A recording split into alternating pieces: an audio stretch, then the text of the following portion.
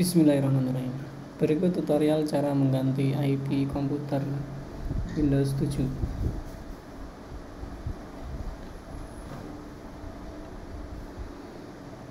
Eh, di sebelah kanan kiri, eh, kanan bawah ada tombol atau atau ada ikon network. Nah, kita bisa klik kanan, open network and sharing center. Maka akan terlihat kontrol panel untuk network and sharing center. Kemudian di sini ada informasi kita menggunakan koneksi apa. Contohnya kalau di sini saya menggunakan LAN. Nah mungkin kalau di komputer eh, masing-masing e, itu menggunakan WiFi. Nah ini di klik aja. Kemudian nanti akan muncul informasi dari e, konfigurasi IP yang saat itu kalau kita menggunakan router atau access point yang di HCP itu sudah tersetting IP-nya contohnya di sini ada 0143 192 168 0143 nah ini konfigurasinya yang didapatkan dari server.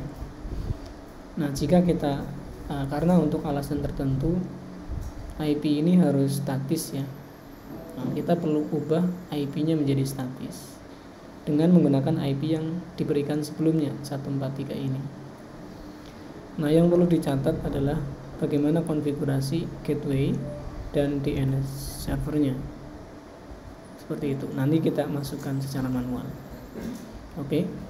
Kita coba ganti, masuk ke properties.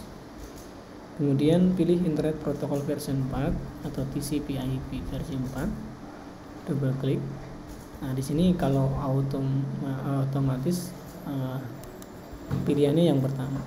Kemudian kita setting manual use the following IP address. Tadi 143 nah kalau untuk memastikan kita juga bisa menggunakan CMD ketikan IP config. Nanti hasilnya akan sama. Nah ini yang akan kita contoh ya berarti 192 168 kosong. Nah mungkin di komputer masing-masing bukan kosong ya. Ini tergantung router kita. Misalnya satu atau dua atau berapa.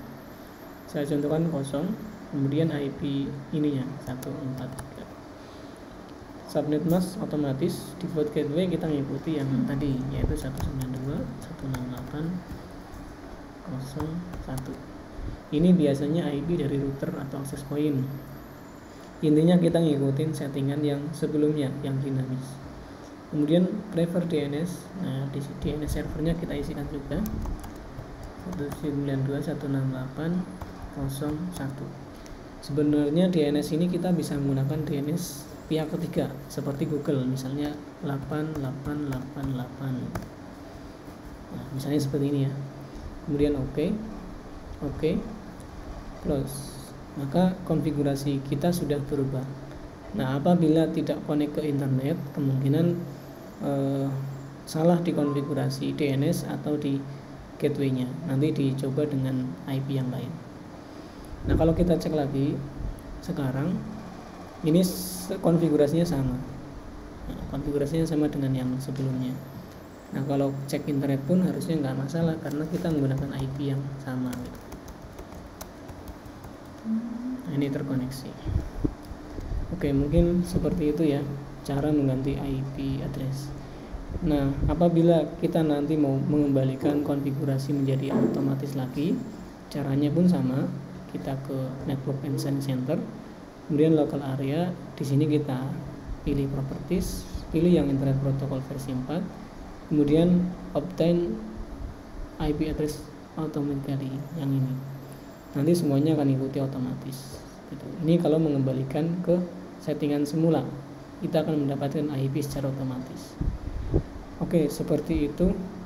Semoga bisa dipahami. Terima kasih